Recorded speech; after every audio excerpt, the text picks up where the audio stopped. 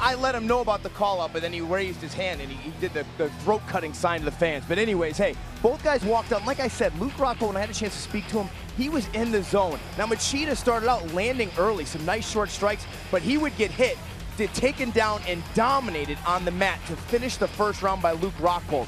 Rockhold transitioned, beautifully landed, excellent ground and pound, and just dominated throughout the first round, surprised a lot of people. This is what he said would happen if the fight hit the floor, and not many people believed him. Machida actually had to be helped to his stool after round one. He came out and he still appeared wobbly coming out in round two, and Rockhold was aggressive. He gets him down here, and this is where the onslaught just begins, and eventually it would set up the finish you see right here. Rear naked choke, total domination by Luke Rockhold, making a statement, showing the world that he is the next man after Chris Weidman's defense of his title against Vitor Belfort. He's the next guy in line. He was a, he was a champion in Strikeforce.